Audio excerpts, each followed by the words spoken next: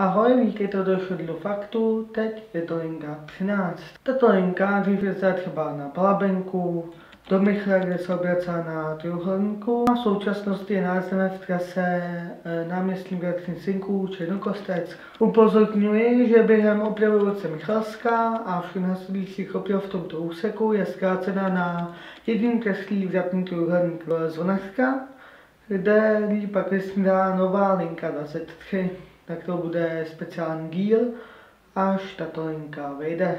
Tedy až tato linka bude v provozu. Trasa je poměrně jednoduchá, kopíruje původní linku 11, tedy původní trasu, a to ze Zvonařky přes IP Pavlova, Vinohradskou tržnici, Floru, Šelevského až na Černokosteckou.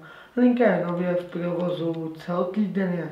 Jestli zde solovozy, Většinou jsou to T3RP, vany nebo T6. Linka 13 kopíruje z velké části trasu metra A, takže pokud se náčku stane nějaká nehoda, tak po téhle trase jezdí náhradní linka XA. Se 13 odděluje 30%, protože je taková posláník 11 a nemá ani moc atraktivní trasu a skoro se vůbec nezměnila pouze jenom celotýdenní provoz. Děkuji za vaši pozornost, uvidíme se dalšího videa. Bude to linka 14.